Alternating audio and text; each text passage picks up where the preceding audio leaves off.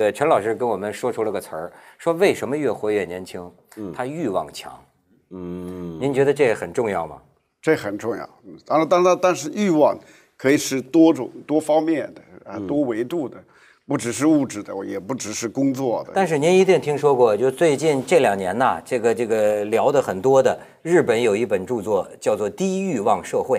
嗯，就是他就是从这个消费经济这个现象啊，就说日本现在的年轻一代人叫做这个低欲啊，我吃碗拉面就行了，生活叫最简单。我不要车啊，看见什么法拉利看都不看一眼。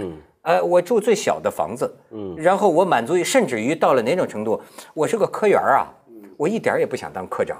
就日本会有那样提拔你当经理啊？哎呀，谢谢谢谢谢谢，我这样挺好。但是那个主任啊，经理要负很大的责任呐，我我不想这样。嗯，那您说像这种是不是会导致经济萎缩呢？你就像我自己，可以说。比如说，很多人会觉得很奇怪啊，我对赚钱有兴趣，但是呢，不是那么大啊。从某一种意义上来说，呃，我赚的钱到底是我自己花还是给我太太和小孩花哈？其实我自己也没想清楚，因为对于这个物质花费这些方面，欲望还是比较低的。他们会替你想清楚，他们会帮我想 清楚。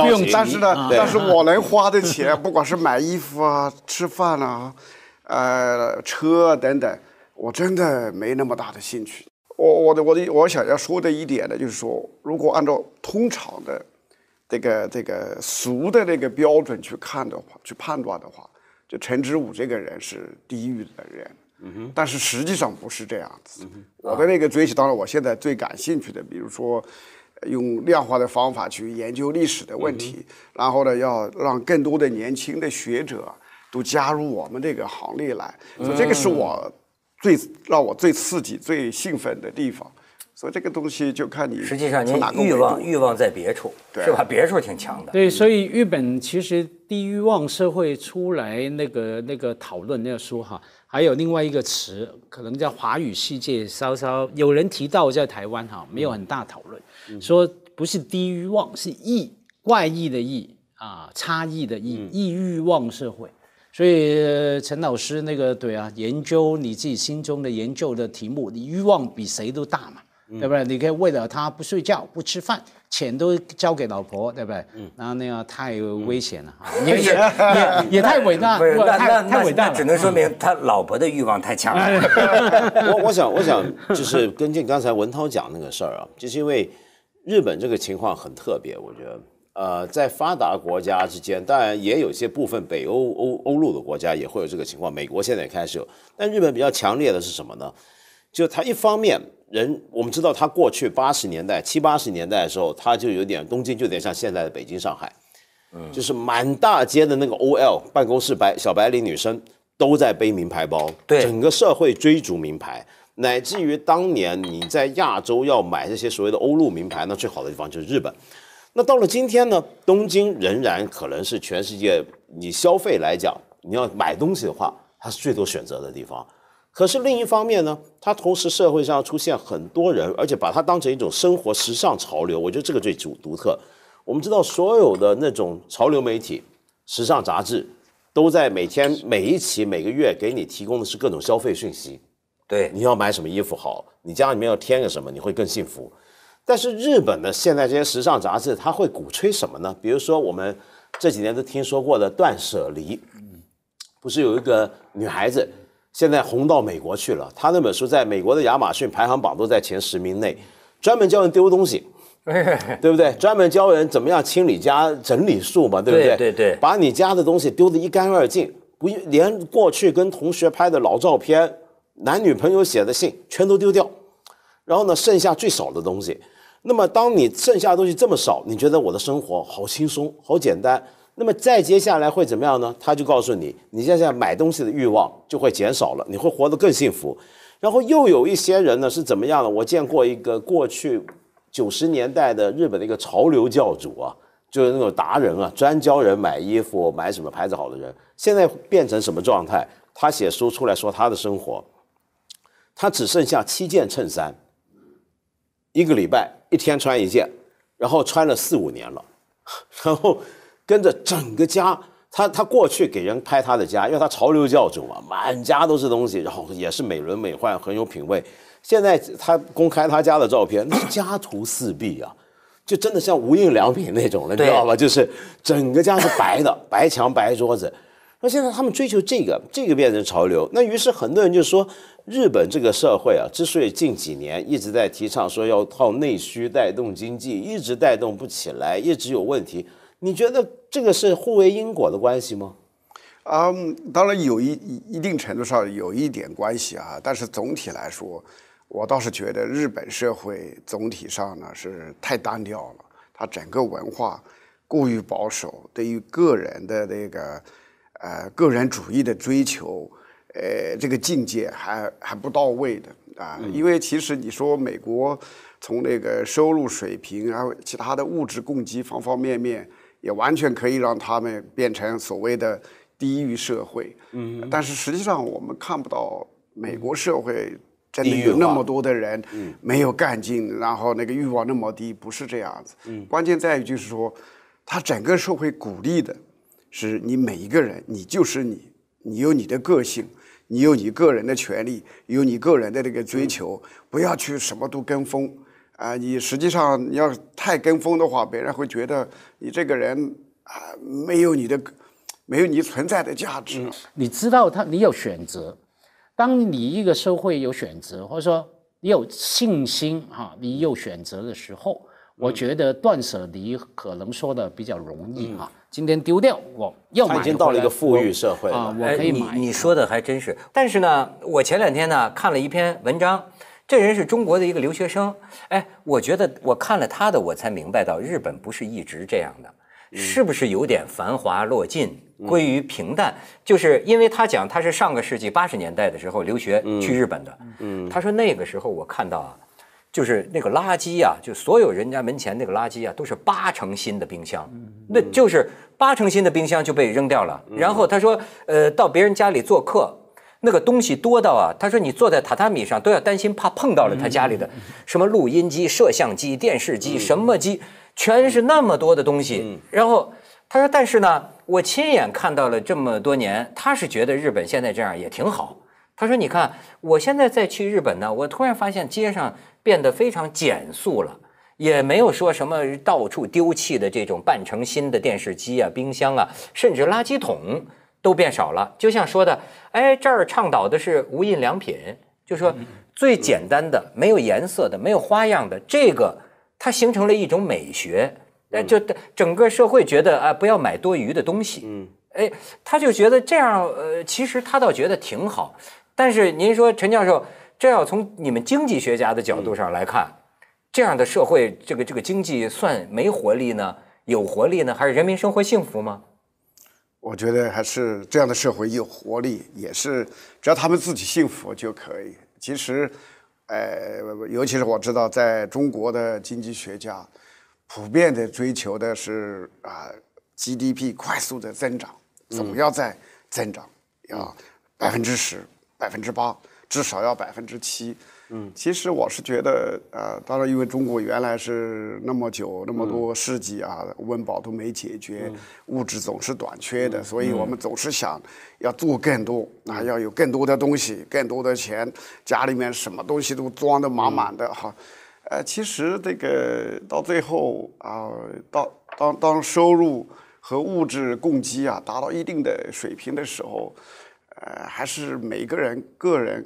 过上自己喜欢的生活，那才是最重要的。所以我就觉得，按照呃中国的习惯来看的话，好像你没有增长，像日本这样的社会，不只是低欲望，而是低增长，非常的消沉，没有出息了啊。然后欧洲也是这样子啊，你看看欧洲的。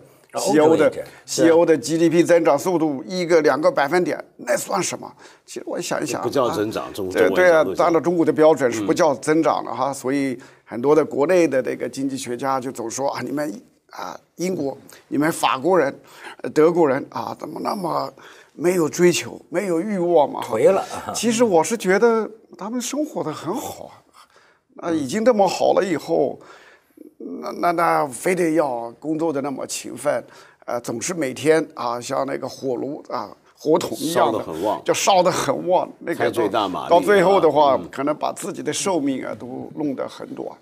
呃，所以我就是看到，比如说像香港啊，可能也是很多的，特别是内地人，觉得香港现在啊，这么小城什么增长也比较难了，然后这个也贵，那个也贵，好像也没有太多的这个收入啊，这个增长前景。呃但是像香港的人均寿命啊，现在是世界最高的地方。所对，你说香啊，港人那一点不好。香港人我怎么这么能活呢？我作为香港人，必须在这里 那个发表意见。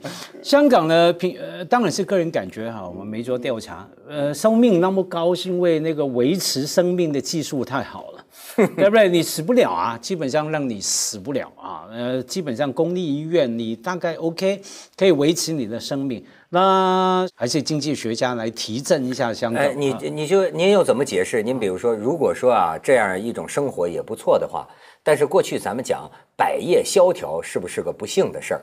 你比如说，你比如我在台湾就看到旅游业的人就不干了。说不让大陆游客来了，那我们这吃什么喝什么？就是经济不行了，失业率也高了。香港好像也是整天抱怨这经济没活力。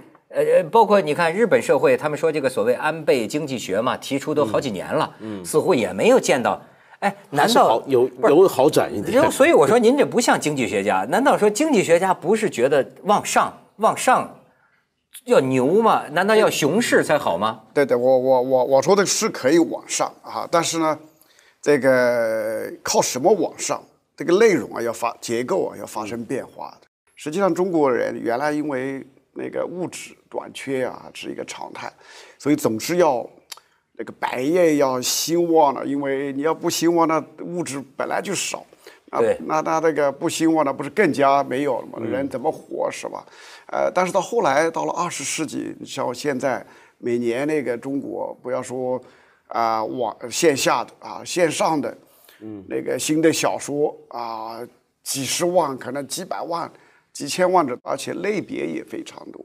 所以从这个意义上来说，不仅仅我们那个 GDP 比原来大多了，但是实际上就文化消费的那个组合啊，嗯，发生了很大的变化，啊，包括我们现在做的这个节目是吧？对。像原来的话是是没有这些消费的内容的，呃是啊是啊所以，所以文化节目呃的消费，所以我是觉得这个我们可以把那个，我们应该要把呃这个欲望的这个定义的范围啊，要拓展很多，否则的话，因为毕竟我们要记住一个基本的这个基于生理生物的这个现实，我们每天就三顿饭了哈。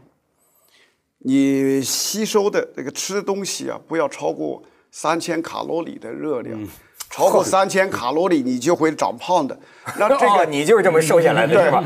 三千卡路里热量的上嗯限，一天三顿饭。你比如说李嘉诚啊，他是曾经是华人首富，现在马化腾是华人首富啊。你说他有几两三千万啊，不两三千亿的个人资产以后，你说他一一天吃多少顿饭呢、也是三顿饭了哈。那那您说我有钱了，想想有个游艇，这是过分吗？啊，这不过分呃，那比如说刺激人往这方面追求，对是好还是不好？啊，这是好。好，但是实现就是不了。我我我我可能会觉得奇怪，那个那个你要自己要花很多的精力啊，去找人去帮你把游艇去维护啊等等。要是我的话，我去租一个游艇，那不是更简单？经济学家会算账。在，但但是这个东西，如果有人他非得他买了游艇，他就高兴买了私人的飞机，让他觉得哇，今天很满足又更满足了，又更有有刺激的地方，有兴奋的地方，那也也蛮好的。我我有个这个富豪朋友，现在就是把他这个私人飞机气死了，他就说。通过这个私人飞机，我买了，我想飞的时候都飞不了，因为你都要事先申请航线。是我不想飞的时候，他老打电话来，哎，你是不是要飞一趟？他花那么多钱，他现在甚至觉得，呃，不如把我们几个有私人飞机的合组一个公司。现在是有对，平常就就就就出租了，或者还是怎么样？是，现在有专门的公司专门干这件事儿。但是我想说回头啊，就刚才我们说的这种低欲望啊，它其实不只是日本的一个现象，欧洲也越来越越明显。在我在丹麦的时候，就看到车街上的车啊，有些人开奔驰，他那个奔驰跟别的地方的奔驰或者这些名牌车，反正这种名牌车，不管什么牌子也好，它前头那个车顶的那个呃车头盖上不都有个标吗？那个标有的是立起来的吗，不是特别酷吗？就你觉得一撞就那个东西就把你撞死的那种标，他很多把那个给拆了。我就一开始是以为他们撞得太猛，老把那个 那个标给撞了。后来我发现他们是故意把它拔了，就买了一个好车名牌车回来，把那个标拔了。他觉得太炫耀了，他觉得太炫耀，他觉得太张扬，那变成一个习惯，就这你就觉得很奇怪。那你买这个车干嘛？他说我买这个车不是为了让人看我这个车是名牌，所以我觉得是开起来挺好。可是假如那个车哈普遍的话，应该不存在这种心理。说起了奔驰，我每次去德国、去欧洲，我心里特开出租车都是嘛。对啊，我们在香港存了一笔钱买，在欧洲的出租车都是。别说德国，我刚来到我们是大深圳，嗯我在我们这摄影棚门口看到一辆车，跟我太太，呃，奔驰。然后旁边写着一个呃牌子，挂着一个牌，写着买菜用。因为我们说哇，对啊，我说我在看深圳多有钱，买菜用的，你出去看看。我不晓得为为什么哪个大户人家几辆车指明叫买菜用而已啊？那不是买菜用什么？所以就是我就说，所以他们那种低欲望啊，或者是要节制欲望，现在而且还得到一。种呃很深的一种伦理证据的支持，伦理论证的支持是什么呢？就是现在越来越多人认为消费过度是一个呃会带来很多社会问题的，呃，比如说现在我听到他们很多人有这种批评。第一，那先不用讲环境问题，比如说垃圾过多，那么这是一个环境问题。第二个问题是什么呢？我们去看常常被消费过度过或者过度买的太多的东西，是一些被廉价的东西。所以现在你知道很多人，比如说以前大家现在都会流行买那种呃叫快闪时装嘛，嗯，就是快时装嘛，或者说是那种呃很廉价的，不断的每个月出新款的那种牌子，现在被很多人唾弃，是因为认为它很便宜，但是那个便宜背后的环境代价跟社会成本太高，那所以他们要抵制这个东西，他们认为买的越少，这个人活得越健康，而且越道德。那么现在有越来越多是这样的讲法，包括在美国都很流行。那这些讲法都在鼓吹大家要压抑这种消费的动力。那这个东西，呃，OK，我们刚才说到，的确经济呢发展到一定程度，大家生活满足了、幸福了，是不一定要追求 GDP 增长的。但是如果说真的中国有一天大家也都觉得啊这样生活就很好了，就不想买东西了，真的觉得买东西没必要，那这个东西。经济学上面会怎么来判断这种情况呢？呃，原来有一个叫罗马俱乐部，哈，就相当于一个智库一样。是。呃，他们出了很多书啊，其中有一本呢，就是呃增长增长的极限。是。啊，当时他们就觉得啊，这个就像我刚才说的啊，一天就三顿饭是吧？你就要穿那么多衣服。嗯。一个人不管你有多少套房子是吧？但是每时每刻。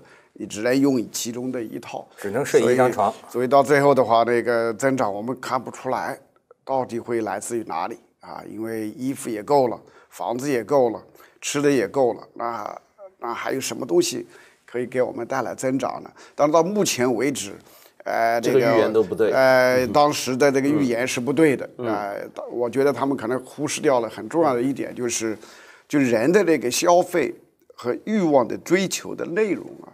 不断的在变化，嗯，呃，所以像那个他们罗马俱乐部写那个书的时候，没有迪士尼世界的啊，那个虚拟的那个坐过山车的，嗯，啊，还有那么多那个虚拟的人造的那个那个世界啊、经历啊等等，这些让我看到就是确确实实。你只要有不断的有新的创新的出现，嗯，让我们像现在我们都花那么多时间用微信啊，啊上网啊，然后啊还有网上的那么多的游戏机啊等等哈，这些都是这个游戏花的时间那么多，大家花愿意花的钱啊也很多，呃，你说这些有是不是人必须要的？不是的啊，没有这些是活不下去的，但是呢。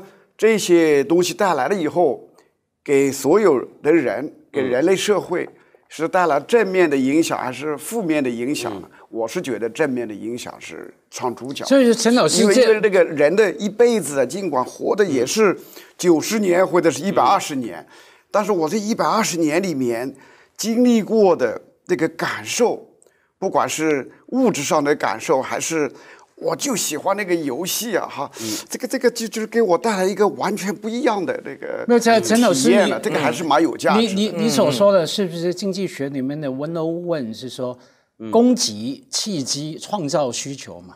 当你的欲望啊，你以为啊，我赚十块钱有十块钱的欲望，当你赚到二十块，口袋有二十块，对不起，你的欲望不会停在十块钱那个。对，这个我最有体会了啊。对，但是这个但这个是我觉得其实还牵涉另一个问题，就是整个产业创新会带来你的欲望，你要消费的目标也在转移。比如说举个例子，刚才我说的潮流教主，他今天也许活的是家徒四壁，只剩下七件衬衫，但是我注意到他桌面上有一个苹果电脑。那个电脑或者他的 iPad 或者他手机里面可能下载了巨量的 APP，对每一个都要花钱。然后他也许不买衣服了，但他游戏里面的角色，他常常每个每个星期花几百块美金在帮他换衣服。哎，而且咱们可能消费的而对啊，而且你讲这个供给侧的，就是最有名的乔布斯。嗯乔布斯受这个日本禅宗的影响，也是家徒四壁啊。你看他家里就是一个地板，盘腿坐那儿。但是呢，他搞出这么一个 iPhone，这个他创造了多少人的这个需要，多少这个产值，而且别忘了 Steve Jobs 那个他坐在那家家徒四壁是吧？他那个房子是弄了多少亿，让他变成最高科技的房子，就像香港那样，对李嘉诚的儿子李泽楷对吧？在海边的别墅，他说什么？那是我是用最简约的风格来规划，可是呢，那个好像光是规划那个线路，什么你这样，它所有电动呃电器全部自自自动弄起来，什么花了十二个亿，他用最贵的来做最简单的而且而且家徒四壁是很贵的，对。不起？这个对。你知道，在建筑跟设计里面，你比如说你要做，很多人崇拜日本那个安藤忠雄。那种清水墙、清水呃混凝土墙，那个造价非常非常贵，因为那个工太难做。所有建筑跟设计上面，你看的越越简单的东西越贵。嗯对，但是呃陈教授，您跟这个中国的年轻人经常有接触哈。你看现在不是流行讲什么佛系嘛？似乎感觉呢有这么一些小清新，哎，似乎他们现在喜欢一些个呃无可无不可，哎，什么事儿都不要太过这样的一种生活方式。呃，您对此有感受吗？呃，应该说现在嗯这个大家的追求是越来越多元化了。嗯，你像我们那些六零后，可能更单调的，大家都是想到中国向何处走。对对啊，这个以后中国怎么办？所以我这个是我们六零后、五零后的这些人每天在想的。我是想要走出这个境界也蛮难的。就对就当年那个最著名的就是中国这个第一代企业家，就是改革开放那第一代企业家。后来有一个人听说坐了牢的，他最著名的段子就是自己坐着这个投机倒把，对吧？但是呢，办公室背后放着一个中国地图，一个世界地图，然后每到周末带着几个公司的同事到一个小黑屋里，点着这个篝火，披着军大衣，讨 论世界形势、世界革命、非洲人民咱们怎么办？哎，你看那个第一代企业家身上，他他带有这种这这这这种东西。但是八零后，尤其是九零后，不想这些问题，但是他们追求的个人的那个人生啊，哈，多元化了很多。有的是在我们看来啊那么消沉的，另外一些的话也是跟我们一样的啊，中国向何处走？每天那个一吃饭一聊天就谈那个中国的那个大话题，高大上的。没错但是这个里边，我们必须要接受一点，就是越来越多的九零后，甚至零零后啊等等哈、这个，呃，他们这个追求的价值真的是多元化了。那么这是一个好现象，反映这个社会啊不再像原来啊那么水深火热，那么总是处于苦难之中。因为只有在物质和其他的这些问题啊，基本上解决的差不多的时候，那个多元化、个性化的那个追求啊，才有那些物质基础。